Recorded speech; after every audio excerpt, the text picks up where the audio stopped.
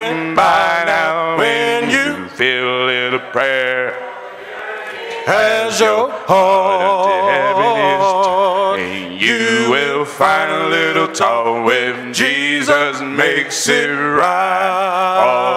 Alright. And I may have doubts and fears. My eyes be filled with tears but Jesus is a friend who watches day and night.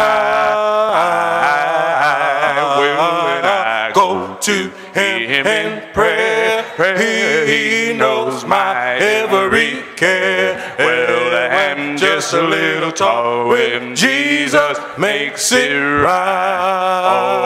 alright now let have a little talk with Jesus. And let us tell him all about our trouble he will hear our faintest cry. And he will answer by and by. Now when you feel it prayerful yearning as your heart you will find a little talk with Jesus makes it right. Don't you know it's alright? It's alright. It's alright. It's alright. It's alright. It's alright. It's alright. It's alright. When just a little talk with Jesus makes it right. Don't you know it's alright? It's alright. It's alright. It's alright. It's alright. It's alright just a little talk with Jesus makes it right alright now let us have a little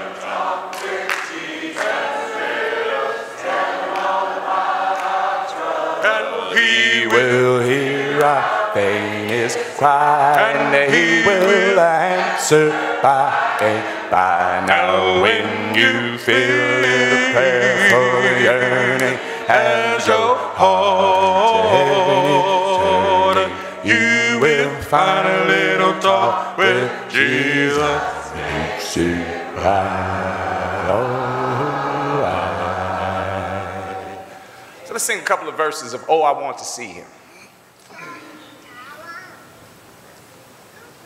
As I journey through the land, singing as I go, souls to Calvary through the crimson flow. Will many arrows pierce my soul from without within, but my Lord leads me on, and through Him I must win. Well, now, oh, I want to see Him look upon His face. Hey, now there to sing forever, Lord of His saving grace. Well, out on the streets of glory, glory, let me lift up my voice, all of my cares. I'll be whole, will ever to rejoice. Now, when in service for my Lord, dark may be the night. Uh-huh, then I'll cling more close to Him. He will give me light. And Satan's snares may vex my soul, turn my thoughts aside. But goes ahead and lead, leads. Oh Lord, and oh, I want to see Him. Yeah, look upon His face. Hey, and there to sing forever. Oh Lord of His saving grace. You know I'm on the streets of glory. All of my cares. I'll be home. Well, rejoice. now when in service for my Lord, dark may be the night. Hey, then I'll cling more close to him. He will get me light. World and Satan's snares may vex my soul, turn my thoughts aside. he just did, but my Lord goes ahead and leads, leads. Oh Lord, and oh, I want to see Him. Yeah, look upon His face, hey, and there to sing forever. Oh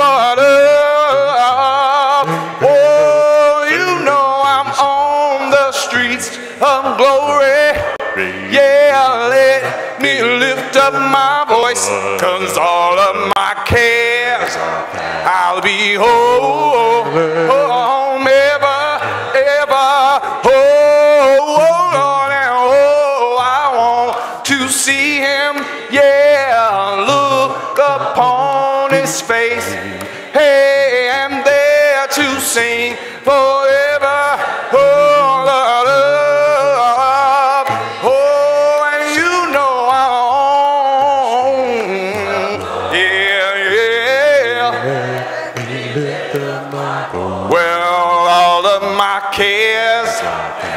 Be home. We'll live to rejoice.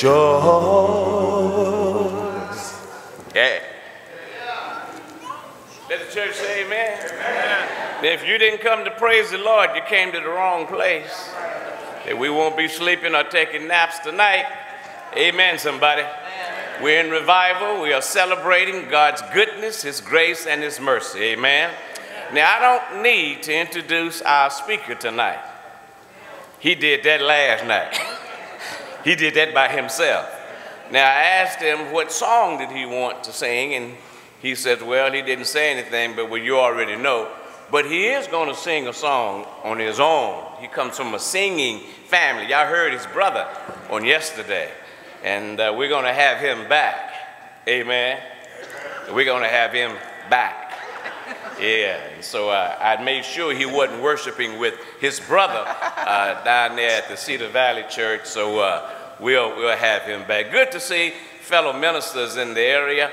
Uh, and then we've got uh, a constituency uh, from the Inland Empire in the place called Perris Valley.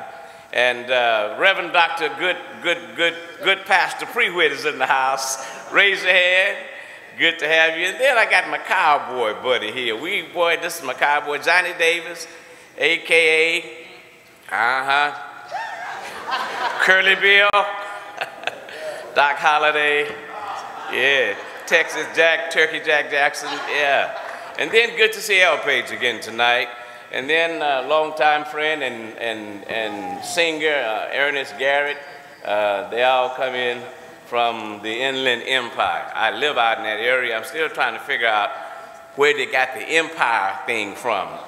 It is definitely inland, but that empire thing highly overrated and very questionable. On your feet, y'all know that God is a good God. Look at your neighbor and say, yeah, God is a good God. God is a good God. God is a good God. World. God is a good God, oh Lord, and that's why I praise His name. Oh, I say God, yeah, good God, oh Lord, and that will never, no, no, will. My God is a good God, oh Lord, and that's why I praise His name. Babe, I said, if you got a problem, well, you get on your knees and pray. You just take it to God and He will, His part all to wipe your tears away. A Figueroa sang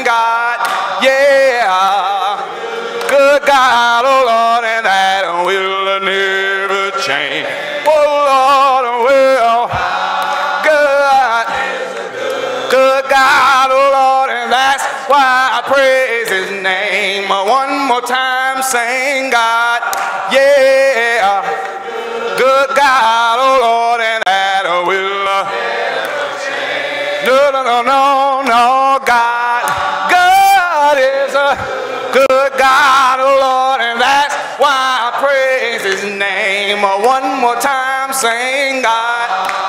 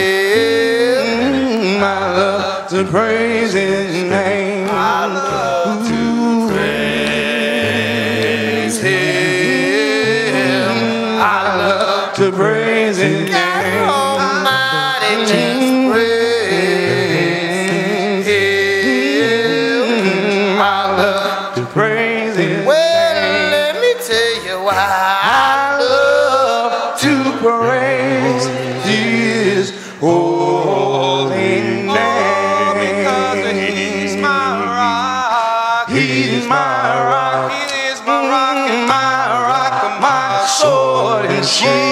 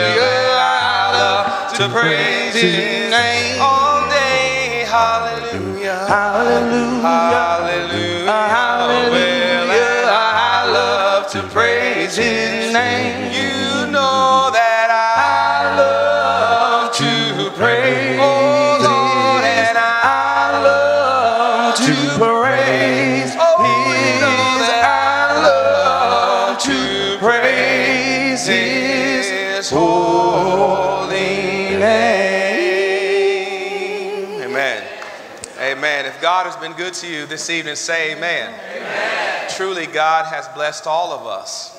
And it is because of him that we're able to be here tonight. Uh, he has been a good God. Uh, he's been a kind God. He's been a gracious God. He's been a merciful God. And I know that many of us have made the sacrifice tonight after a long day of work uh, to come here tonight to hear what He has to say to the church. Uh, and we want to thank you for coming out. Thank you for being here tonight to support this revival. You look at that prefix, re means to do again, uh, to revive us, to rejuvenate us, to refocus us, to refresh us. Uh, and sometimes we think we've lost it, but we really didn't lose it. We just need our batteries recharged. Uh, we need to be reconnected, re inspired, uh, and rededicate ourselves to the cause on which many of us fell in love with years ago. And I think it's, it's, it's safe to say tonight that you still got a lot of miles left on that car. You still got a lot left in the tank. And it's just a blessing to be here at Figueroa. Uh, last night we had a wonderful night. And uh, I pray that something was said uh, as I, I, I, got hijacked by the Holy Spirit. Uh, and that's always interesting when that happens, when, when He takes over the sermon, and then there's what you thought you were going to say and what He knows needs to be said. Yes, sir. So we don't apologize for what we said. Uh, we thank God that He is still working in this place. 80 years, what a magnificent celebration. And I think someone mentioned this Sunday. I think it's important to know that uh, 80 years without a split, uh, that's amazing these days and time. And that means that God has been with you. I always say carnal people, uh, spiritual people don't split churches. Uh, and it takes carnality. Carnality has to be present uh, where people have made it about them and not about God. So it's impossible for the Spirit to split a church because the Spirit only works in line with the will of God. And so tonight we're here to celebrate this great congregation, but more importantly, we're, we're here to celebrate the Word of God.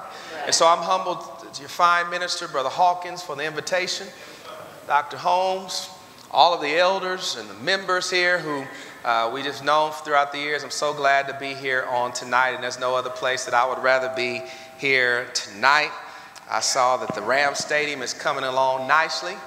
Uh, it'll probably be the second best stadium behind Cowboy Stadium uh, in, in the country uh, when everything is, is, is, said and done. It might sit uh, on ha- in half of Jerry World. Uh, but uh, we still look forward to seeing what those, those Rams are going to do. Somebody said, Brother, don't start nothing tonight. Just go ahead and, and, and get to it.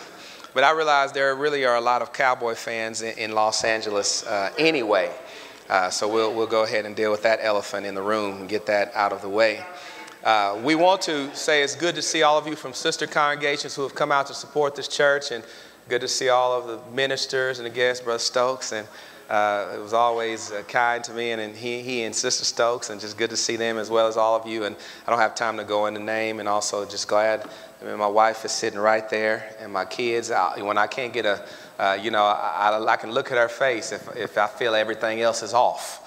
And just she's smiling like, go ahead, you got it. or if she's like, you need to sit down, you know, one of, one of the two. But, uh, but I'm so glad that she's here tonight, and I'm glad that they're with me on, on this particular uh, trip.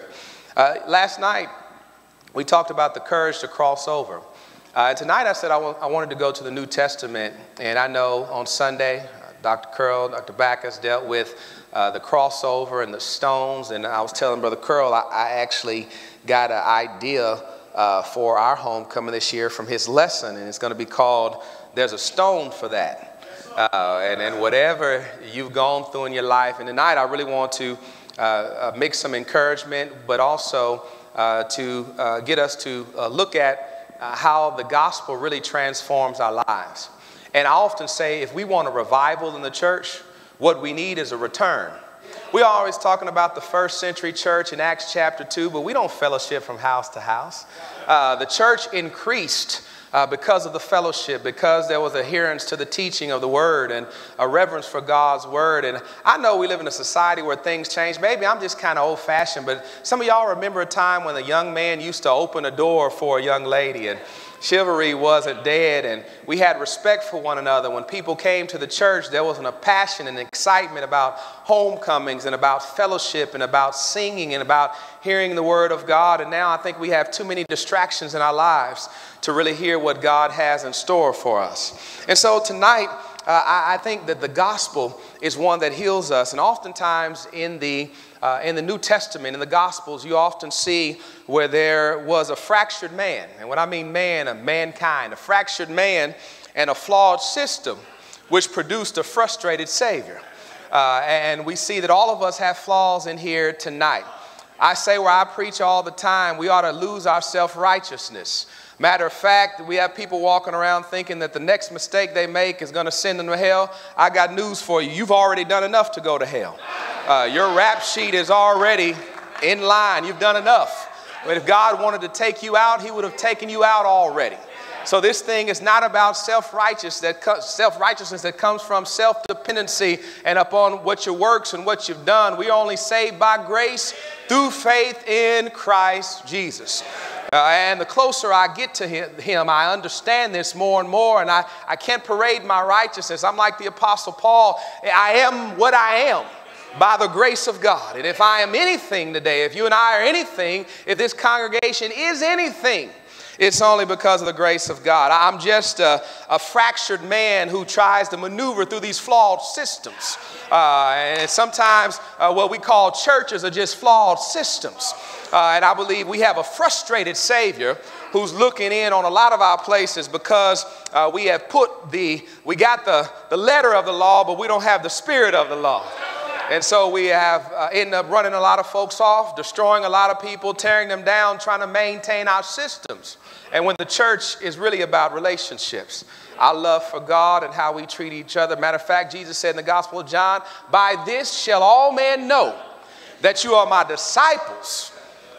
By how many buildings you build, how many church vans you got riding around here. But by this shall all men know that you are my disciples by the love that you display, demonstrate, and have one for another. I think wrong ideas about God are in themselves false gods. And I want, I want to read Mark chapter 7 tonight. Let's, let's go to Mark chapter 7. And, and the way I'm going to go, you know how it is. You, you, preach different types of lessons. Some are more expository, some are more topical. Uh, and as I said last night, I'm not here this week to try to impress anybody. I'm here to persuade you. Uh, Paul says, knowing the terror of the Lord, we persuade men. So I'm trying to persuade you to think. And I pray tonight that you would have an open mind and a receptive heart uh, to what the Word of God is going to say uh, here tonight. Uh, in Mark chapter 7, I just want to read 13 verses and then I'm going to go on with my lesson. The Bible says, Then the Pharisees and some of the scribes came together to him, having come from Jerusalem. I had a sermon back in the day. Remember Jeff Foxworthy had a series called You Might Be a Redneck If. I did a series called You Might Be a Pharisee If. Uh, and I believe we have a lot of modern day Pharisees in the church. And I'm going to leave that right, right there just for, for now. Verse number two, the Bible says, Now when they saw some of his disciples eat bread with defiled, that is, unwashed hands, they found fault. Do you know anybody in the church who constantly finds fault? For the Pharisees and all the Jews did not eat unless they washed their hands in a special way, holding the tradition of the elders. When they came oh, from the marketplace, they do not eat unless they wash. And there many other things which they have received and hold, like the washing of cups, pitchers, copper vessels, and couches. Then the Pharisees and the scribes asked him, Why do your disciples not walk according to the, and I want to note, tradition of the elders, but eat bread with unwashed hands? And he answered unto them, Well, Isaiah prophecy of you hypocrites, as it is written, These people honor me with their lips, but their heart is far from me. I got to stop and make a note right there. Be careful that you do not profess what you do not possess. We have a lot of people who are professing things that they do not possess. He says in verse number seven, and in vain they do worship me, teaching as doctrines the commandments of men.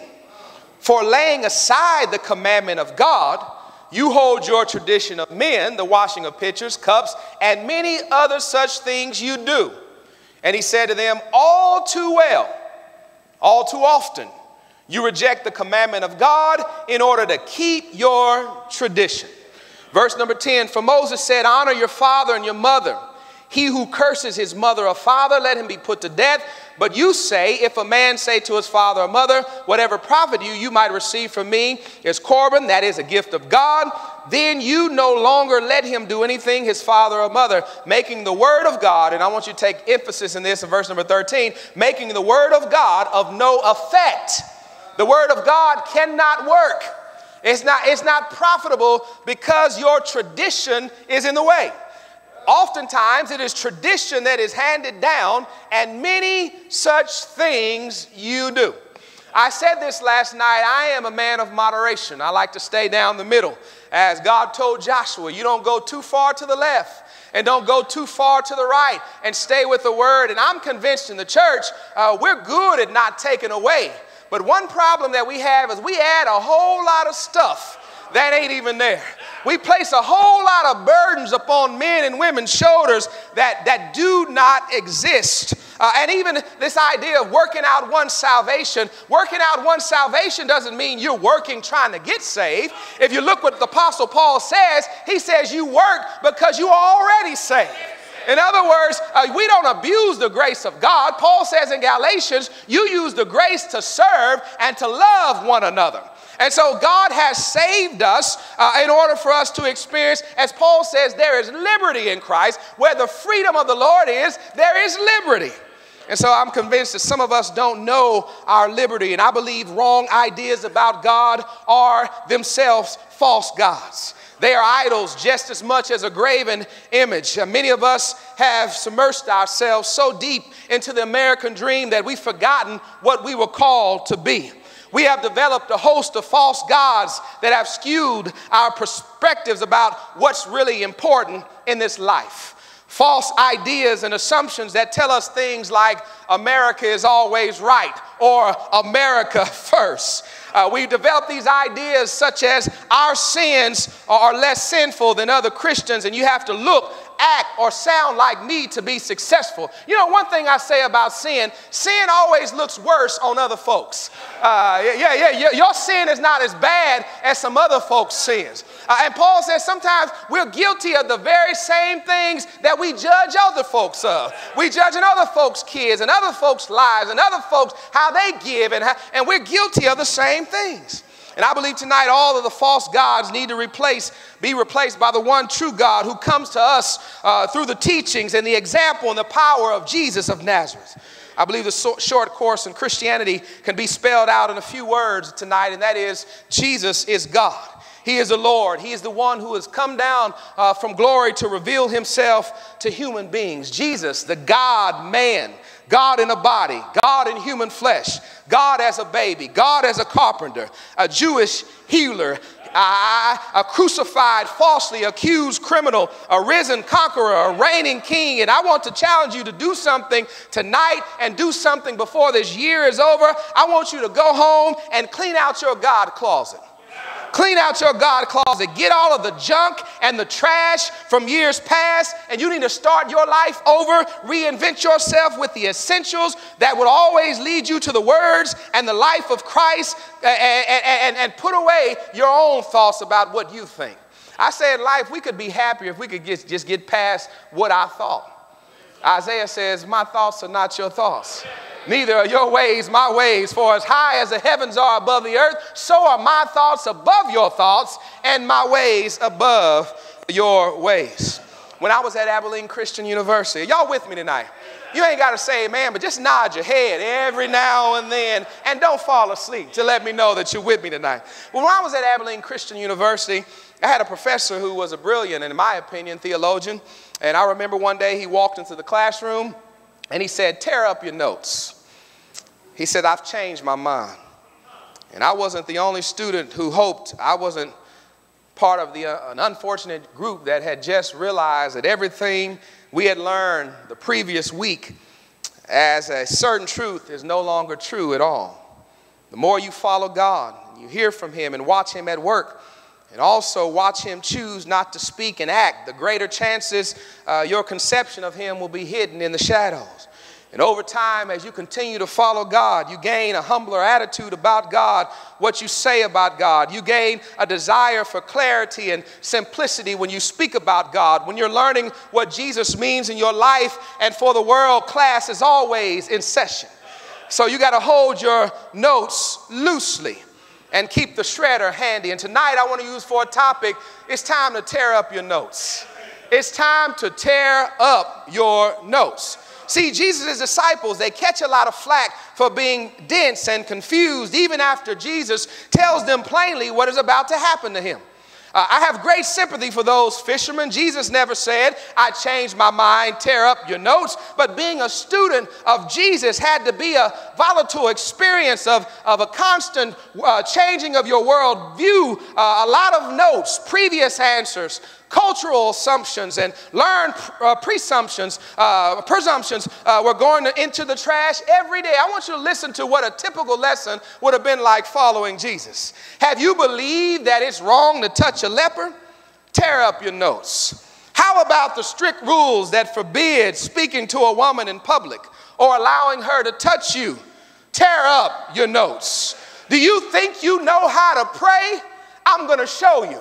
Tear up your notes. So you've kept all of the commandments from your youth. Let me tell you one thing you lack. I want you to go and sell everything you have, give it to the poor, and then you'll have treasure in heaven. Tear up your notes. Do you think you know who God loves and who He doesn't love, whose God is punishing and who God is reward, rewarding? You might want to check again, tear up your notes. And I think in the church, we think that we're better than the lady who's walking on the corner. You think God loves you better than the drug dealer. But I got news for you God don't love me any better than He loves the drug dealer.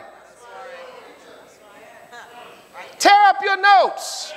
We ought to lose this attitude as if we're better than other folks because we've been in the church a long time. If I get to heaven, and I want to go to heaven, it's not going to be because I preach good sermons. If I get to heaven, it's not going to be how many years I spent in the church of Christ. Uh, if I get to heaven, it's only going to be because of the sacrifice that my Lord and Savior Jesus Christ made. I cannot do it on my own. Tear up your nose. All of my righteousness has got to go out the window when I start really understanding Jesus. That's why we're so judgmental because we really don't understand who Christ is. You thought you were clear on God's attitude toward the Roman occupiers and the other Gentiles. Jews are not allowed to eat with them or go into their homes except uh, them as being righteous unless they become Jews. Sorry, you can throw your notebook away. You think you understand who God loves and includes who God dislikes and ignores? Do you know who is in and who is out of God's kingdom? Do you know who is the greatest in the kingdom? Then answers, and Jesus gave them answers, and, and I think Jesus, his answers bear little resemblance to what a righteous or right thinking Jew of that day would have thought. But he taught them based upon what, uh, not based upon what they had been taught, but what they needed to be taught. And that's what needs to go on in the church today. Uh, we've got to teach what needed to be taught. We've got to teach what Jesus says and not our opinion, not what we think, not what we feel. Uh, I remember one particular time uh, in a class, and, and my job as the evangelist is to, is to defend the word and to stay with the word. I have authority with the word. And one time, one of our old elders said something in class, and he said, I don't think this and that. And I had to correct him and say, Brother, is that the Bible or your opinion? Because I don't care who you are in the church, none of us lead or guide the church based upon our opinion. And none of our opinions are bigger than the Word of God. And, and, why are we arguing about it if it's in the Word of God? And many of the doubtful disputes, as Paul talks about in Romans chapter 14, uh, which divide the church, are just that. It's my opinion versus your opinion. It doesn't do anything to build up the church. And what Satan wants to do in the church, he wants to divide and conquer. Uh, just like in 1 Corinthians, he wants you to say, I am of Holmes, and I am of Hawkins, and I am of Thompson. Christ is not divided. And where there is no unity, there will be no peace. And unless there is peace, there cannot be unity. Unity thrives in the environment of peace. Just like if countries want to sign treaties, we got to stop shooting bullets at each other. There needs to be a ceasefire in the church. We need to sit down at the table of brotherhood. When I got back to Dallas, y'all probably heard about it. There's a lot of stuff going on in Dallas. We had some brethren who came in, they wanted their own stuff. Divided the church. We got, and they asked me, Who are you with? You with us or them? I said, I ain't with nobody. I'm with Jesus. We got gangs in the church. Who you rolling with? I'm rolling with Christ. I'm not on one side or the other. And we go, they got their own breakfast. And then they say, These are the sound brothers, and these are not the sound brothers. And we're going to write a letter on you because you don't disagree. I said, I can write a letter too. I know half the stuff you're talking about is no biblical fact to it, but I can write a letter on you about division. It's wrong to cause division in the church just because you don't agree with, and half the folks in the church that have a problem with things, they don't even have biblical backing. they don't even know what scripture they can back up why they feel the way they feel. I don't know, so and so just told me that. That's what, that's what brother so and so told me. But let me tell you something, brother so and so can be wrong. Uh, he's human too. And brother so and so sometimes just passed down what somebody else told him. But when you start studying the Word of God and really getting into the Word of God, you start tearing up your notes. Y- y'all remember, I-, I said this back home. I remember the first time my, my mom wore pants to church. And that, that used to be a sin for some of y'all, right? For a sister wear pants to church. And I said, Mama, you got on pants? She said, Yeah, it's cold out here. and sometimes you get tired of that shit, then where's that sin? Yeah, you thought that was a sin. He thought everything's a sin. Sin, sin, sin, sin, sin. And we've sinned a lot of folks out of the church. That's it. That's it. That stuff wasn't a sin. I, I, I'm going to move on tonight. Uh, by the time Jesus came to earth, I'm almost there. By the time Jesus came to earth, the Jews had already known God for a thousand years. They had seen God create them as a mighty nation. God had taken care of them through the good times and the bad, even going through the trouble of rescuing, rescuing them out of slavery in Egypt to preserve them as a people. He gave them their own homeland, defeated their enemies. The Jews knew all about the heavy religious subjects, and uh, they knew uh, about redemption and blood sacrifice and the necessity of the blameless paying the blood price for those worthy of blame. They knew this. It was in the Old Testament, it was prophecy. They, they knew all about forgiveness and salvation. They had received the Ten Commandments directly from God. They were the world's first people to insist that there was one creator, God. They knew the truth about God and they repeated uh, his stories, his exploits down through the years about God. And they, they, they, they, they every year during the most important religious observance, the Passover, they, they, they, they, they, they commemorated in a sense. And then a man who claimed to be the king, who the nation of Israel had been waiting on for centuries. Uh, and I believe that the Jews knew exactly what a king, especially a king from God, was supposed to do. He was supposed to destroy Israel's enemies, rescue the nation from humiliation, clean up politics and religion, bring the kingdom of God. Uh, quite a list. And every Jew in every village knew the Messiah's job description. Imagine that you're Matthew or John or Peter. You're familiar with the Passover uh, meal, and your people have been celebrating for more than 1,000 years. The one that commemorates the Jews' deliverance from Egypt. And Jesus says to you, I got a new explanation to give you. And I think you're going to be surprised. He ex- then explained to them that there was a new lamb in town, and animal sacrifices and uh, temple services were no longer sufficient to atone the people's sin. Someone else's blood is going to save you, and it's mine. The truth, as a disciple had been taught all their lives, was suddenly recast and fulfilled by a man who acted like a God and reversed every expectation these men had always had of what God was supposed to be like. Jesus wouldn't leave their ideas of God alone until he was their ideal of God. I like the Gospel of John because the Gospel of John, uh, it exemplifies the deity of Christ. In the beginning was the Word, and the Word was with God, and the Word was God. And John 1.14 said, and, and the Word became flesh and dwelled among us, and we beheld His glory as of the only begotten, full of what? Grace and in truth. He's the high priest uh, who knows our infirmities. He knows exactly how you feel tonight. And I used to think, and I told you I'm a recovering legalist, and I used to think that God was sitting up in heaven waiting for my every move to mess up, to send a lightning, a lightning bolt from heaven to strike me down. But I don't see God like that anymore. I see God as a God who loves me. I see God as a God who is my father. He's my daddy. I talk to him like my daddy. When I pray, I don't get fancy with it. Our Father who is in heaven, the one who hung the sky and a star like diamonds on a black velvet. You know, talk to God like he's your daddy. The Bible says he knows what you need even before you ask him. Sometimes I got to go say, Daddy, I messed up. Daddy, I'm in trouble. You know what I need, and the Spirit understands the groanings even when I can't get the words together. God knows. So funny that, that the people that you can't see Christ for getting past the Christians. There are people that are hurting, but they can't get past and penetrate our systems that are in place to marginalize the downtrodden. I read somewhere that if any man be in Christ, he's a new creature. Old things have passed away and all things have become new. Some of us are tougher than Jesus. How you going to be tougher than Jesus?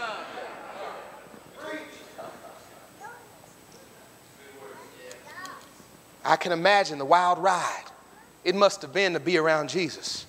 People who loved God and sought to obey Him found their deepest beliefs about God, they were suddenly revolutionized by what they experienced with Jesus.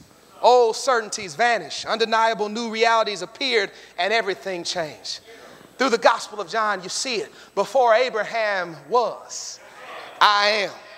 You search the scriptures, and in them you think that you have eternal life, but the scriptures point to me.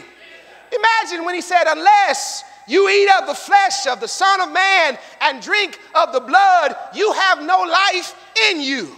Remember when the woman in John chapter 9, one of my favorite texts, she was caught in the very act of adultery and they drugged the woman uh, in front and this made a scene out of it. And, and we always ask, where was the man? You know, that's how we do it, church. We only drag one party.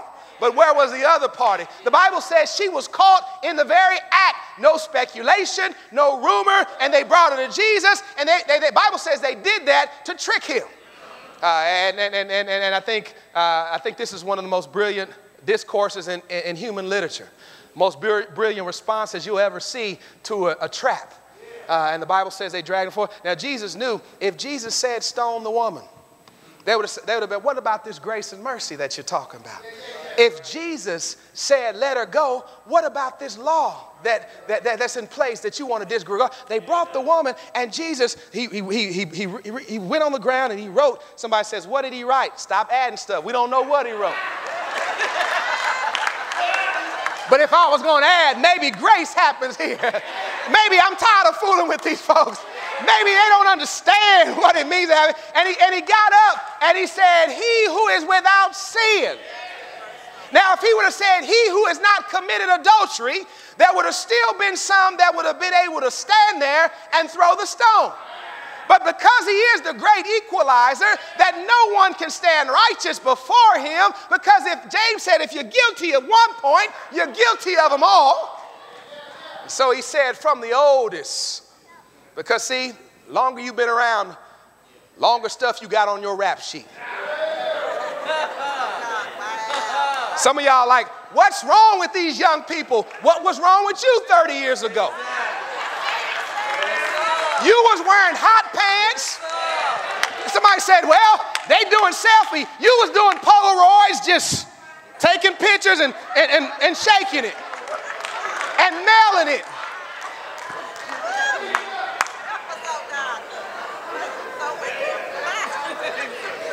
You had a lot of activity going on before you got married. You might have been in the streets. You didn't always love the Lord like you do now. They had to drop their stones. And then Jesus says, Woman, where are your accusers?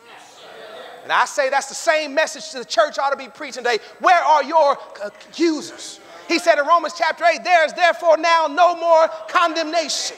And we ought to get that condemnation. He says, he says, uh, but, but listen to this Jesus did not condone the sin, but he didn't condemn the woman. See, that's the Christ way. Well, we do not condone sin, but we don't condemn the woman. In other words, the gospel taught right, preached right ought to be about restoration. That's why Paul said in Galatians chapter 6, eh, brethren, if you see your brother overtaken in a fault, ye which are what? Spiritual. Such a one in the what? Spirit of meekness. Because you say, that could have been me right there. That could have been me. All of us are just one bad decision away from being a person that you wouldn't recognize. Yeah, yeah, stop judging folks. But they out there robbing. Well, you might be out there too robbing if you'd have she's sliding down a pole. Well, I, you know, I ain't, I ain't for sliding down a pole, but you throwing your money at her. And talking about her sliding down the pole. That's how we do in church. That's how we do. I'm sorry. I thought I was back at home. I'm sorry. Just one second. And he saw it, but he told her, go and sin no more. Go and sin no more. I'm not condoning your, your, your behavior, but there's no one in here that can judge you. I say this where I preach all the time. If we were to put on this big high definition 1080 uh, 4K screen up here, if we could replay back uh, some moments in your life, one by one, we would get the finger up and walk out like this because you got some stuff that you are afraid of and ashamed of in the church before you became a Sunday school teacher, before you were involved in the bus ministry, before you centered the table. You've got some stuff too. We've got people afraid to enter into our churches because they think we're too perfect for them. Gospel is for the sinner, for the fractured man. Savior is frustrated with our level of involvement with the systems, how we even treated our sinners. Can you imagine? Jesus said, Do you want to be made whole? You've been laying in the same place a long time. If you want to be made whole, take up your bed and walk. And, and we knew the man was made whole. Jesus, when he, Jesus found him in the temple, he knew he had changed. And Jesus told him, you know, basically, be careful or something worse is going to happen to you. Uh, but, but he says, accept a man. In John chapter 3, he told Nicodemus. Can you imagine how profound this must have been uh, uh, to, to, to Nicodemus when he said, accept a man be born of the water and the spirit, he cannot enter into the kingdom of God. Remember in John chapter 4 when he approached a woman, a Samaritan woman, uh, in the middle of the day at the well. And he said, if you knew who it was who was asking you for a drink, you would have asked him for a drink and he would have given you living water. Then he also says in that same chapter, the hour is going to come when you shall not worship on this mountain or in Jerusalem, but true worshipers shall worship the Father in spirit and in truth. I say that all the time. There is nothing holy about this building that we are in right now. This is not the sanctuary. We have people fight on back home. There's people arguing about we can't have a fellowship hall connected to the church building. We can't eat in the building. Well, you know what we do? We have a big old, we got a big old scream up there. One night for our married couples, we had movie night in the auditorium. And we had popcorn. Oh, some people had to cook them sacred cows. Like it, it was hard for them. Hey, sacred cows make the best hamburgers them sacred cows, and nothing was harm, no, no harm, no foul. We had a great time. We were in the building, the auditorium, which God blessed us with. When we had that tornado, we had to shut half of the building down. We had boxes all in the building. God, you, God gave us this stuff to use it, and we only use it uh, as we choose to use it. It's a building. If our building were to burn down today, we could go meet in a hotel. We could go meet in a field. We could go meet in somebody's house. Because what he was trying to teach us in John chapter 4, it ain't about a particular place. He says it, it's about the spirit. God is, some of y'all come every Sunday and you, you come to the building, but you never come to worship. Matter of fact, I tell people all the time, they say, we need to call to worship. You need to get, do something or say something to bring us into worship, get us focused. I said, you should have been focused when you got here. Matter of fact, I don't wait to church to get out and worship God every single day of my life. I worship Him riding along in the street. I worship Him when I wake up in the morning. This is just a collective gathering where we can do it together. Oh, we, we think we, we jump holy when we get in the building. As soon as y'all get in the car after church, y'all fight. Y'all fought all the way here, and then y'all fight all the way home. But you look good in your church hat. You got the prettiest nails in the congregation. Baby hair laid down, you looking good, but inside there's no holiness, there's no righteousness, there's no real joy. You sing and you shout, and when you go out, you live a defeated life. This is what happens where I am. You don't know how to worship God in spirit and in truth. I told y'all last night, I'm not afraid. I'm not afraid to say these things. He says, uh, he says, this man's, remember John chapter 9, uh, when, when they said, we asked this question, like, whose fault is it that this man was born blind? Jesus said it wasn't this man nor his parents' sin, but cause was for the glory of God, that the works of God should be made manifest in him. Imagine when Jesus says, I am the door, I am the good shepherd. No man takes my life from me, but I lay it down. And if I lay it down, I have the power to take it up again. And this commandment I have received from my Father. Remember when he said, I am the resurrection and the life. He that believeth in me, though he were dead, yet shall he live. And whoever believes in me shall never die. Tear up your notes. If you have seen me and heard me, you have seen and heard God. Tear up your notes. If I be lifted up from the earth, I'm going to draw all men unto me. Tear up your notes. By this shall all men know that you are my disciples by the love that you have one toward another. Tear up your notes. Let not your heart be troubled. If you believe in God, believe also in me. In my Father's house there are many mansions, and if it were not so, I would have not told you so. Tear up your notes. He told Pilate, My kingdom is not of this world. And if my kingdom was of this world, then my servants would fight that I should not be delivered unto Jews. And, and Pilate said, Are you a king? Jesus said, Yes, you are right in saying that I'm a king. Matter of fact, to this end I was born. For this cause I came into the world that I should bear witness to the truth, and everyone that hears my voice is of the truth being a disciple of Jesus. I'm moving toward a close. Y'all still with me tonight? Being a disciple of Jesus meant that you had joined a demolition party aimed at everything you had ever believed about God. Jesus was a radical. Jesus didn't fit in with society. And I learned sometimes in order to be like him, I can't fit in all of the time. I, I, might not sound like everybody else. I might have some more compassion and some more grace and some more mercy, but also preaching the unadulterated truth about who God is and what he desires of every man. Many of us need to reevaluate our views about the Lord. God will send you to hell. Let's be correct with that. But that's always our leading point. That's our favorite thing. You going to hell. You go, like we want folks to go to hell. Y'all going to hell. Everybody else is going to hell for us. We say that's the gospel. But where's the love in our gospel? Where's the grace in our gospel? Where's the forgiveness in our gospel? Where is that? Where's the mercy? Do we teach about the true Jesus? And what we try to do before we get him to Christ, we want to get him to our system. I say this where I am all the time. A person can learn along the way while we, while we commune on the first day of the week and why we don't have instruments of music and why we don't have women preach. Those things they will learn along the way. You don't start off on meat, start off on milk. You, you, go through a process, and some of us think we're on, uh, on ribeye when we're really on placenta. Wow. Wow.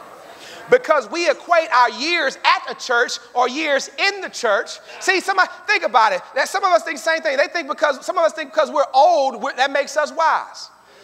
There's some gray-haired fools. Wisdom does not come with age. Wisdom comes with God.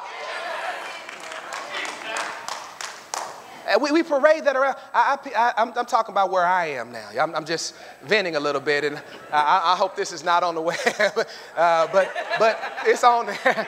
But, but I've been in the church 35 years, and I want to say, who cares? Right? What have you done for anybody? Uh, you haven't taught a Bible class. We haven't gone into the streets. We're not going into the highways and byways, reaching those folks. Uh, you've attended a lot of programs, but, but what have you produced? What's your fruit?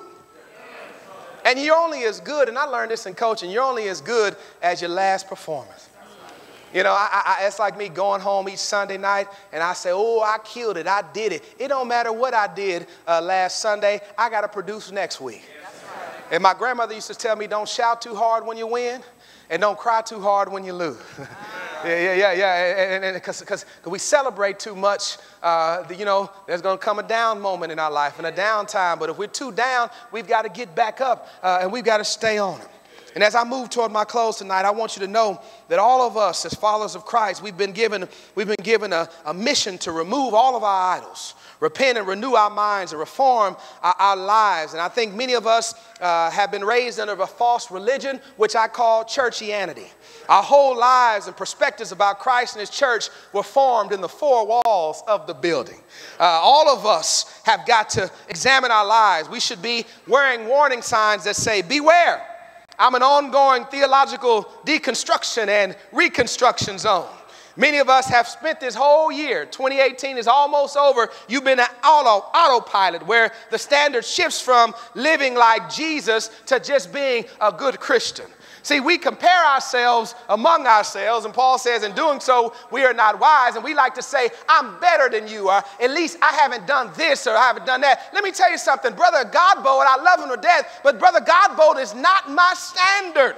I love Brother Daniels, but Brother Daniels is not my standard. Dr. Holmes is not my standard. Brother Stokes is not my standard. My standard is Christ Jesus. And once I make Christ my standard, I realize that I still got a long way to go. I still got a lot to learn. I still got to humble myself and I still got to let Him grow me and bring me along to allow me to become the man that I need to be. If Paul can say that I have not attained, not perfect, but one thing I've got to do if I'm gonna, gonna gain Christ, I've got to be able to put those things behind me and press toward the mark of the high calling which is in Christ Jesus. We see tonight that uh, my experience is that Jesus shakes me up because I can't get it together on my, my own. Sometimes while reading the Gospels, I think that I can miss the point, and we all do at times. I believe many of us uh, are like that uh, Laodicea, that lukewarm church that made Jesus vomit. You're not even, you're not hot and you're not cold. And some of us are like that. We're just there. You're not on fire, but you show up. Uh, and I think it'd be better for some of us just to stay home uh, because all you're doing is taking up space in the way. No enthusiasm, no fire, no passion. And I've learned that one or two people can start a movement. That's why where I am, I am the number one cheerleader. Yeah, I, I, believe that if I can stay on fire, then maybe somebody else will stay on fire. And believe it or not, people are looking at you. When they're singing, somebody's looking at you. Everybody is not singing this morning. Isn't that a shame that we have to say, everybody's not singing this morning? You got food in your refrigerator. Somebody says, Why should I sing? You got up in the morning. Yes, I got put one foot in front of the other. That says I ought to sing. Somebody says, Why should I give? You got up and you had a roof over your head and you knew who you were. That says you ought to give. But we've got to coax everybody. We got to give people incentive to do anything. If my mom and daddy left the church, I still gonna stay with God because I know too much about him now. He's done too much for me now. I can't leave him now, even if I wanted to, because I'm a slave to righteousness. And you're gonna be a slave to something in your life, a slave to sin or a slave to righteousness. And he got a hold on me now, and I can't let go of him even if I wanted to. Uh, when you grow in the faith, you stop worrying about what folks think about you and what folks say about you and how they're sizing uh, you up. What I need is I, I need to I need a Jesus uh, and, a, and a God that that changes my mindset. I need a personal transformation by the real Christ not the one that has been manufactured and organized Christianity. I need to be changed by the Jesus who agrees to never be quiet or cooperative with the world. I need to be around some folks who want to resist uh, culture, who understand that we must change our methodology while maintaining our method. I believe that Jesus' followers who have taken the same uh, uh, uh view of, uh, of religion, I need some folks to step up. We talk about courage. We need to denounce some of these religious phonies that are out here trying to make disciples of themselves. Do you ever find yourself tonight as I come to my close, feel like you're swimming in a sea of mediocrity? Do you ever feel like there's got to be more to this it got to be more to life than just getting up, paying bills. It's got to be more to the church than just coming on Sunday morning, singing a few songs. It's got to be more to this thing called ministry. It's got to be more than this. Uh, I, need, I, need, I need to read and hear the Bible taught with the passionate integrity of Jesus, not with manipulation, not with misrepresentation of modern Christian life. I need truthful talk, not scripted chit chat. I think sometimes in church we are obsessed with how we sound in present, presenting the lesson, the presenting man of God. And so I, I, understand homiletics and hermeneutics and all that, but but but where I am, I got to deal with folks where I have to use ain't, and I got to tell it to them just like they, they, they don't want to know uh, in the Greek with so and so. They just want to tell me like it is help my life. I go through the Greek, but you don't have to go through my whole process of why I got to where I got. All you need to do is hear what God has said for you. Sometimes we go over people's head. The lesson sounded good, but it didn't penetrate the heart. I could use a lot of big words. We could do that. I could get up here and I could get going on a pound and a rhythm. Ah, he helped Joshua fight the battle of Jericho. Yeah, I could get on that. I could get on a roll. We trained to do that. We could do that.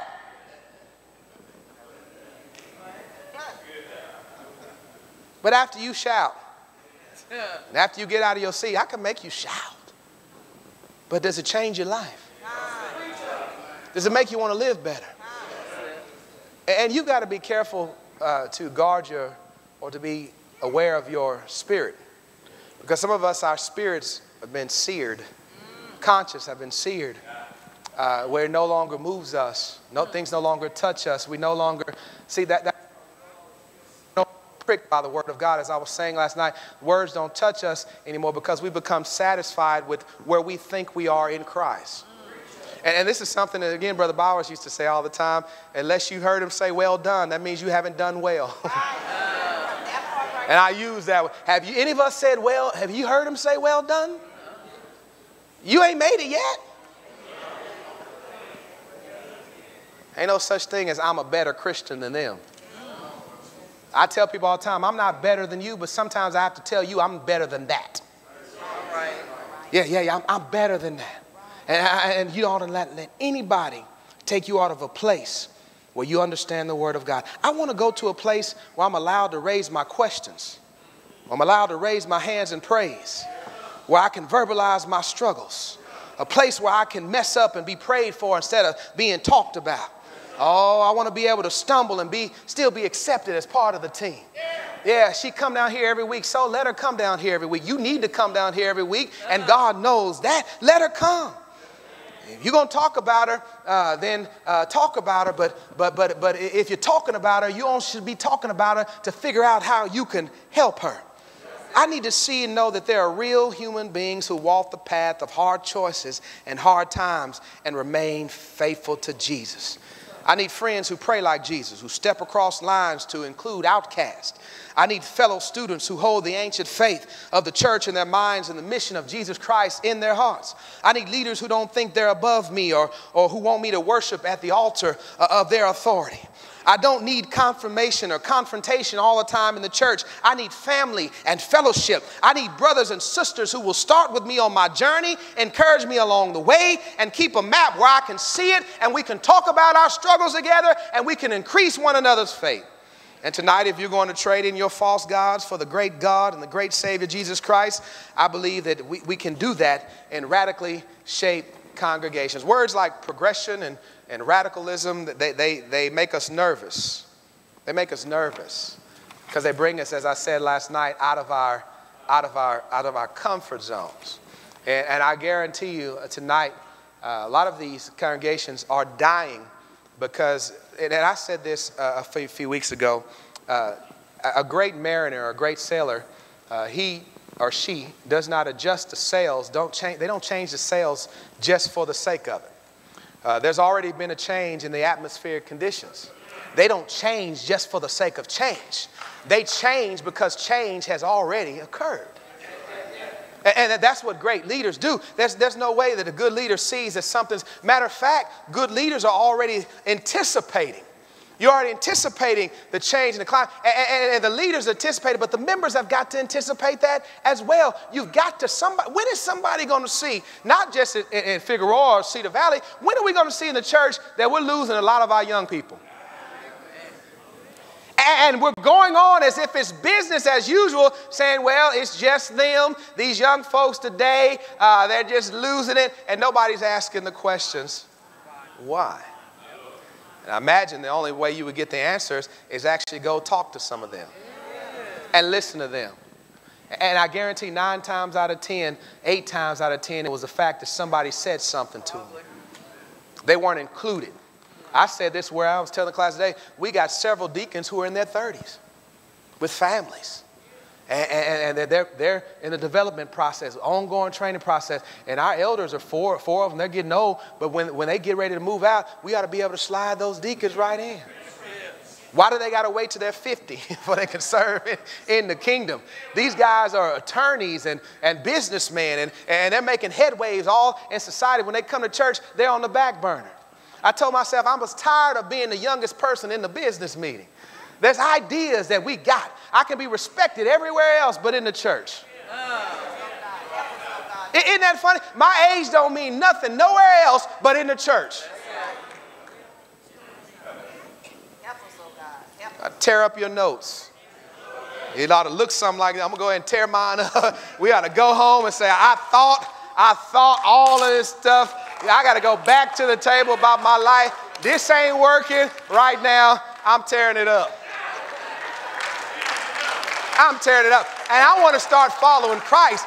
I got to get back in the gospel. I got to get back in the word. And I got to make sure what I believe is what the Lord is teaching. And not just what I heard or what I thought or what I feel. You can't, we can't lead the church and move the church by feeling an opinion. The word of God is still, it'll still grow a church. The word of God will still move the people. But the people have got to be, but I got to receive that. Uh, and in, in, in Mark chapter 3, Mark chapter 3, remember Jesus healed the man with the withered hand? And, and the man, the Bible says that when Jesus came into the synagogue, they watched him. They didn't watch him to see, uh, you know, see what great miracle he was going to do in order to, to follow him or to celebrate him. They watched him, the Bible says, in order to accuse him. The man with the deformity, he had to, I can imagine that he had, uh, the Bible says it was his right hand. Luke's account said it was his right hand, but I imagine uh, that uh, a lot of people in the church are like that. Uh, they have deficiencies, deformities that they got to hide. They got to hide because they aren't accepted. Uh, and Jesus came and told the man to stretch out his hand and he, and he healed him. He healed him. And I believe he still wants to heal a lot of folks that are among us. But, but, but I'm just afraid that our systems are in the way and our systems don't allow for growth our systems don't allow the church to flourish, don't allow the church to move because we've got to remove some of those blocks. And again, what worked in 1960? See, as I was watching those videos, you got to understand what was going on in the 60s. There was a whole cultural, uh, historical, racial, society. There was a movement going on. It, it was a different time. And, and, and, and, folks were flocking to churches all over. There was a lot of things that were different that I don't even have time to get into than they are now. Think about it. As, how many of you are like me? Like, I really don't like social media, but I have to get with it. I have to get with it. And I had a young lady at church say, Brother Bailey, you need to get with your social media. And so I said, what, do you, what does that mean? She said, you need to post stuff even when you don't want to post. So I said, I'm going to start uh, posting a quote every day. And then I noticed that post, it, it gets a fall. Then I noticed I can get announcements out there and I can do a lot of stuff better. I said, we got to up our YouTube. We got to get our Instagram together. We got to get on Snapchat. and as much as I hate to do all of this stuff, the kids love it. The youth love it. They feel like they are involved. Come tell us what y'all need. Come tell us what you want. Come tell us what we can do to reach out to you and minister to you. You've got to tear, tear up your notes. Tear up your notes. I, am done tonight. You know, when you, when you got, I want to say this last night, when you got somebody on your side, when you know you got some firepower behind you, and that's the Holy Spirit, when the Holy Spirit, do not underestimate the power of the Holy Spirit in a place to move the place, to shake the place up. Somebody says, We need to be revived at, at Figueroa. It's going to happen through the power of the Holy Spirit. But the power of the Holy Spirit just can't be in the ministers, it just can't be in the elders. It's got to be in the members, it's got to be among the body. Uh, you ought to be a buzz. I say that where I am every Sunday morning when people walk in that building, they ought to feel a buzz in that building. They ought to feel an energy in that place that something is happening here that's even bigger than what we're about to do in worship. It's people that love one another. It's people that love Jesus. It's people that are accepting of the people who walk in off the street and don't smell like you and look like you. I, I can't love you and be afraid of you at the same time. Don't let this suit fool you. I don't have to preach in this suit. I could preach in flip flops and a dashiki. I know that. I only preach in a suit and tie because I choose to, but it's not a sin if I don't. That's right. And if I preached in a t shirt tonight, could you still hear my message? If I had jeans on tonight, would that cause you to stumble? You'd be surprised the stuff that causes people to stumble uh, in the church. Tell people all the time, they say, well, Christmas is coming up. And I know some ministers are afraid for Christmas trees and stuff because they members.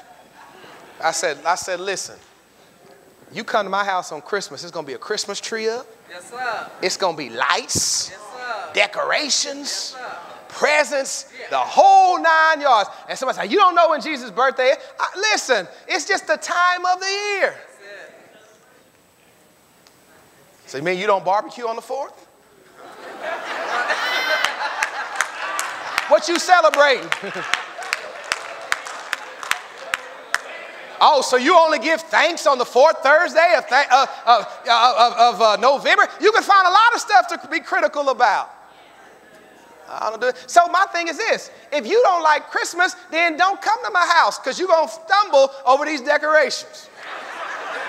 And I, I learned this. I, well, I, told my kids, I will not do that. It's, isn't it funny how we put all these things on the leaders and preachers' kids, but your family, you can do everything. You can have Christmas, but they can't. I watch rated R movies. Can I still preach tomorrow and say that? I like, y'all, y'all, don't, y'all don't like rated R movies? How many y'all seen Coming to America don't lie? How many times have you, how many times, how many of you seen it more than five times? That means you done heard a lot of cuss words. and you done watched some killing and some shooting and some inappropriate things. Stop acting like that. I believe we, we begin to grow in the church when we begin to move our halos. Y'all know y'all cuss.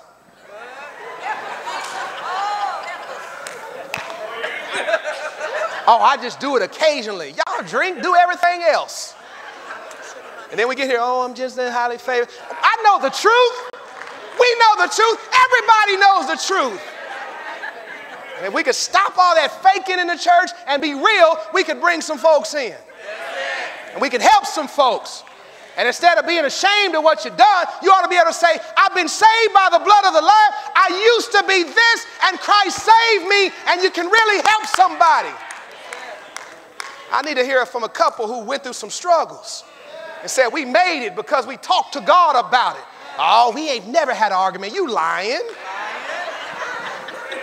Oh, I've never done, I've never even thought a bad thing. We about to tear up some notes on you. When you can be real, people can connect to you. Connect to you. I say, but, but baby, can I still preach because I listen to some of the same stuff y'all listen to? Does that, do I get angry sometimes? Do I get frustrated sometimes? Can you still be your leaders when they're frustrated?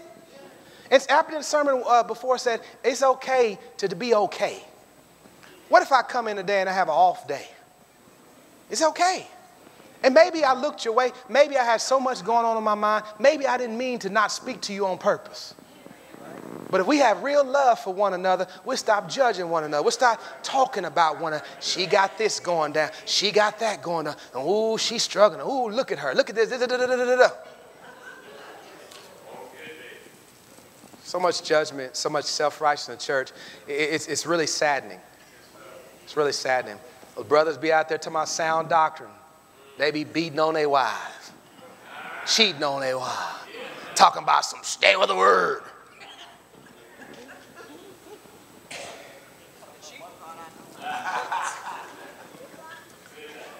I'm going home Thursday morning.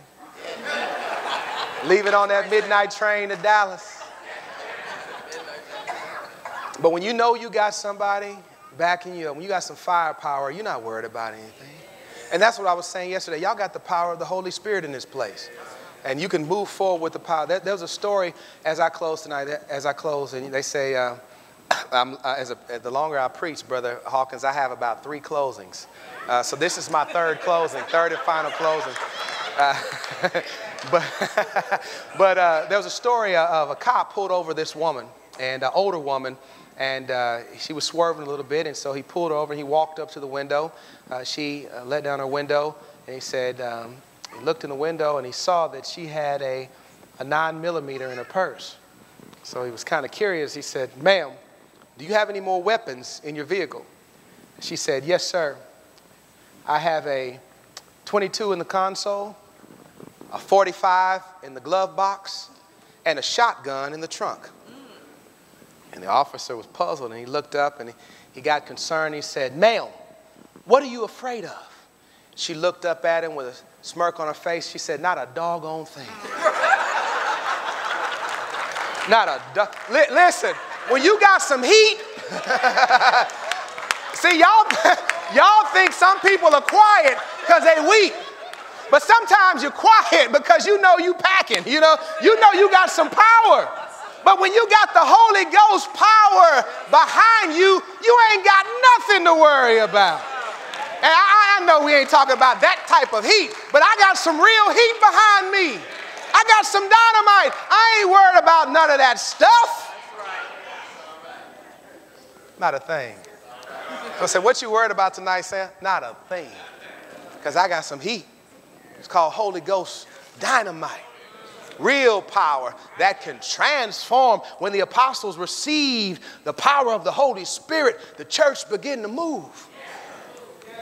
It's a spirit thing.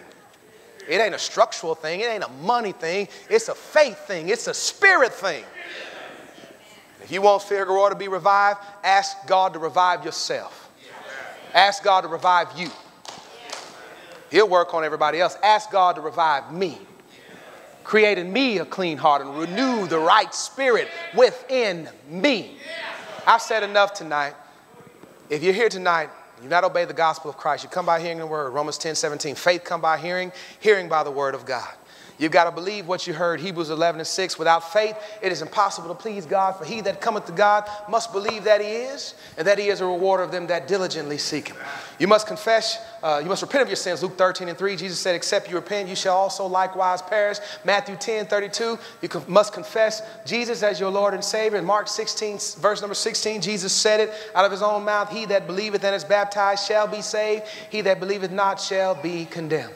Galatians 3 27, as many of us have been baptized into Christ, have now put on Christ. And we have a relationship with Christ. You ought to grow in Christ. And I encourage you, uh, even in those who got wet, but you haven't grown in your relationship with Christ, I, I, I encourage you to go back and re examine the Christ of the Bible and, and find a relationship with him and find that he's long suffering. He says, I'm meek and lowly of heart, and you shall find rest uh, to, in your soul. If you're weary in your soul tonight, if you're restless in your spirit, it's because you've been dealing with church folks too much. You got to get back and find the Christ who transforms your soul, who can change your spirit, who can elevate your praise, who can reconstruct your life.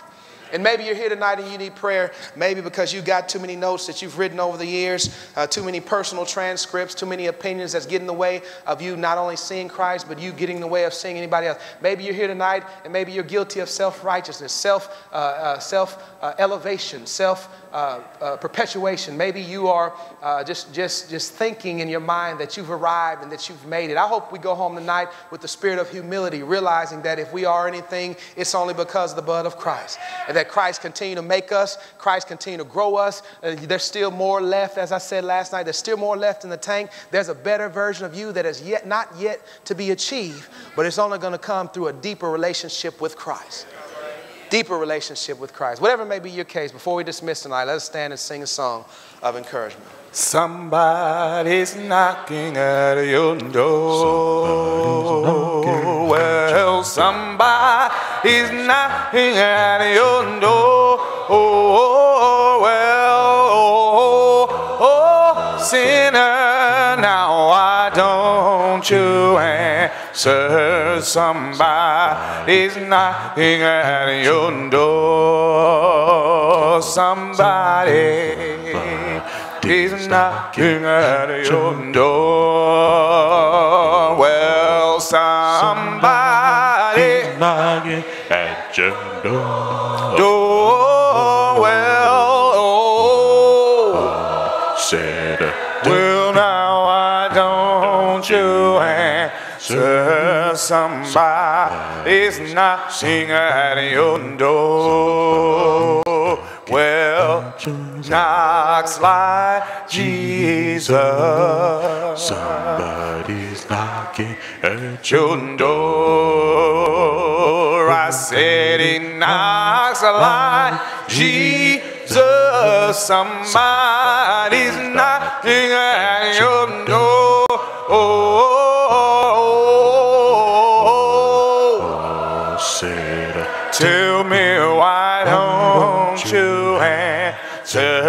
Somebody's knocking at your door.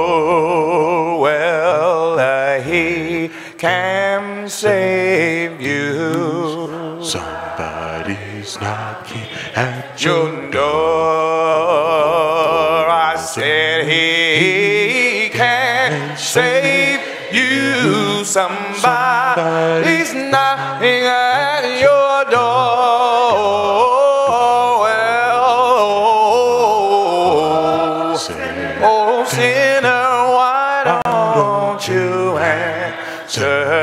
Somebody's knocking at your door.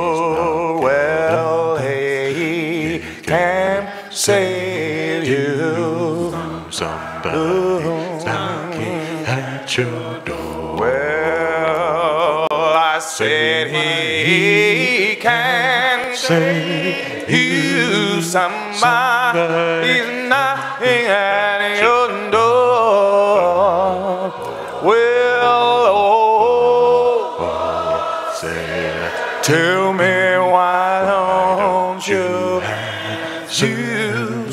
Somebody at your door? Pass me not, oh gentle Savior, Lord, hear my humble cry. What is cry? Will and while,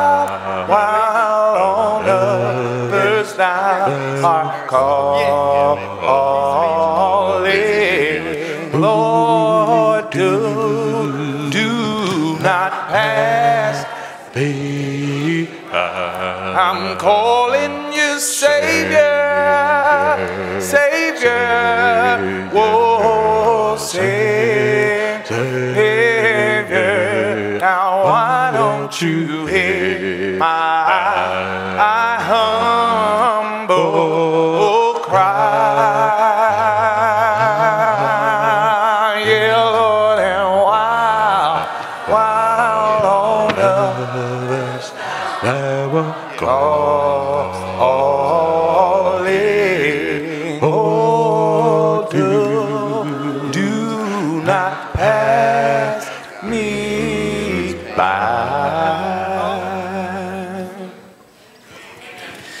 The church say amen. Once again, God has blessed us with a powerful, powerful word tonight through the presence of Brother Sam Bailey. I'm going to ask that you continue to pray for Sam and his spiritual life and his spiritual understanding of God's word. I'm going to ask that you continue to pray for his wife, Lori. Pray for them. Pray for the congregation that he preaches at in Dallas, that he will remain focused, speak God's word with spirit and in truth. We have two to respond to the Savior's invitation. When I call your name, I'm going to ask that you raise your hand that the congregation will recognize who you are. First, we've got uh, Johnson. Devonna states that she has sinned and she's repenting of those sins. She also states that she's five months pregnant and uh, I'm sad and I'm pretending I'm fighting through trials and tribulations that she's going through. She says that she is tired of going through these hard times and she asking the church to pray for her that God can lift her through these pains and take these pains off of her. So, gonna ask that you pray for Devonna. We have Sister Andrea Major. Sister Major, she's come down asking for traveling grace for her father. Brother Andrew Major is leaving tonight, and she's asking that you pray for her dad, that uh, God will have mercy upon him, and that he will arrive in the Bahamas with a safe uh, trip back home. He, she's also asking for prayers for her brother uh, and her spiritual sister. At this time, we're going to ask the church bow their heads as we go to Heavenly Father in prayer on the behalf of these two individuals and remember their prayer requests. Father God in heaven, we come bow before you at this time. Once again, giving all thanks, praises unto you. And thank you, Heavenly Father, for the many, many blessings of life that you bestowed upon us. We come bow before you at this time, thanking you, Lord, special prayers for Brother Sam Bailey and his spirit and his understanding of the word. We pray, Father, that you will continue to be with him, help him to remain a hard fighting soldier, help him, O Lord, to stand in the pulpit to preach your word with spirit and understanding. We pray, Heavenly Father, special prayers for his family as well. Be with them, O Lord, as they continue to fight this battle, walking down this pathway of life. We come bow before you at this time, O Lord, on behalf of our own sister Devonna. We ask you, Heavenly Father, that you will forgive her of sins that she has committed. And pray, Heavenly Father, to, for the trials and tribulations that she is going through at this time. She states that she's pregnant, and we pray, Father, that you will be with her and help her, Father, through these hard times that she is going through. We ask you, Heavenly Father, special prayers for Brother Andrew Major on behalf of his daughter who came down and asked for prayers for him. We pray, Father, that as he traveled tonight, we pray, Father, that you will bless them with a safe destination back to the Bahamas. We pray special prayers, Heavenly Father, for Andrea.